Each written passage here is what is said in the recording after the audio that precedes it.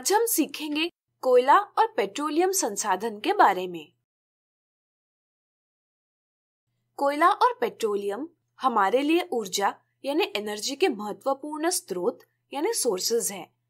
ताप बिजली घरों, यानी थर्मल पावर प्लांट्स में कोयले का प्रयोग ईंधन, यानी फ्यूल के रूप में करके हम बिजली, यानी इलेक्ट्रिसिटी उत्पन्न करते हैं इसी तरह विभिन्न पेट्रोलियम उत्पादों, जैसे डीजल एवं पेट्रोल का प्रयोग यातायात के विभिन्न साधनों जैसे मोटर वाहन, जलयान एवं वायुयान में किया जाता है।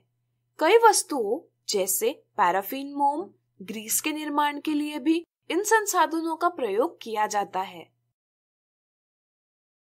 ये संसाधन लाखों वर्ष पहले जीवों के ज़मीन या पानी के नीचे दब जाने से तथा इनका अपघटन होने से बने हैं। इसलिए इन्हें हम जीवाश्म ईंधन, यानी फॉसिल फ्यूल कहते हैं।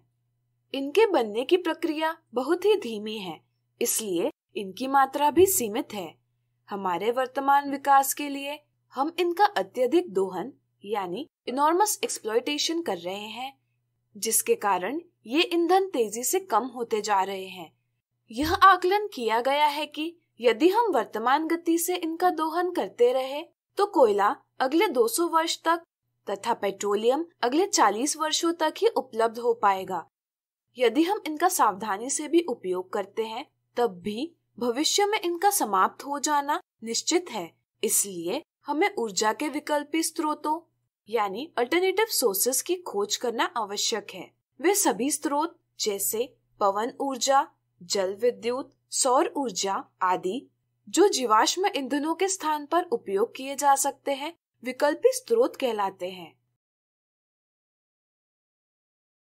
कोयला और पेट्रोलियम ईंधन में कार्बन के अतिरिक्त हाइड्रोजन, नाइट्रोजन तथा गंधक यानी सल्फ़र भी होते हैं। जब इन ईंधनों का प्रयोग किया जाता है तो ऊर्जा के साथ अन्य पदार्थ भी उत्पन्न होते हैं, जैसे कार्बन डाइऑक्साइड, जल, नाइट्रोजन के ऑक्साइड, सल्फ़र के ऑक्साइड इत्यादि। कार्बन डाइऑक्साइड एक ग्रीन हाउस गैस है, जो पृथ्वी पर ऊष्मा बनाए रखता है, जो जीवन के लिए आवश्यक है। जीवाश्म ईंधनों का अत्यधिक दोहन किए जाने के कारण, पर्यावरण में कार्बन डाइऑक्साइड की मात्रा में अत्यधिक वृद्धि हो रही है, जिससे ऊष्मा भी बढ़ रही है। इससे पृथ्वी के तापमान में वृद्धि हुई है। इसे ही हम वैश्विक उष्मण यानी ग्लोबल वार्मिंग कहते हैं। यदि इन ईंधनों को जलाते समय ऑक्सीजन की मात्रा अपर्याप्त हो तो इससे कार्बन मोनोऑक्साइड गैस उत्पन्न होती है, जो एक विषैली गैस है।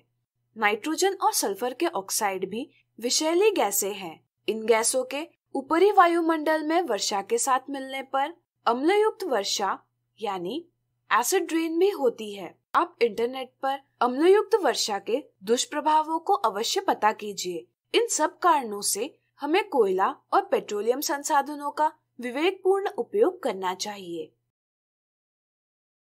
हम हमारी गतिविधियों में परिवर्तन लाकर जीवाश्म ईंधनों की खपत में कमी ला सकते हैं। जैसे यात्रा करने के लिए हम अपने वाहन के स्थान पर पैदल, साइकिल से या बस से यात्रा कर सकते हैं। इसी तरह कार पुलिंग या राइड शेयरिंग भी कर सकते हैं, जिसमें एक से अधिक व्यक्ति एक साथ यात्रा करते हैं तथा कुल लागत को बांट लेते हैं। हमें समय समय पर अपने वाहनों की दक्षता पर भी ध्यान देना चाहिए ताकि ईंधन से प्राप्त ऊर्जा की हानि न हो। चूँकि कोयले की सहायता से बिजली उत्पन्न की जाती है, इसलिए हम अपने घरों में बिजली का विवेकपूर्ण उपयोग कर सकते हैं। जब आवश्यक न हो, तब बिजली के उपकरण बंद रख सकते हैं इसी तरह हम हेलोजन बल्ब के स्थान पर एलईडी बल्ब का प्रयोग कर सकते हैं। सर्दी के दिनों में हीटर का प्रयोग न करके स्वेटर का प्रयोग कर सकते हैं। हम सौर उपकरणों की सहायता से भी बिजली बचा सकते हैं। इससे बिजली का बिल भी कम आएगा। हम बायोगैस बायोडीजल जैसे मानव निर्मित ईंधनों के प्रयोग से जीवाश्म ईंधनों की खपत नियंत्रित कर सकते हैं।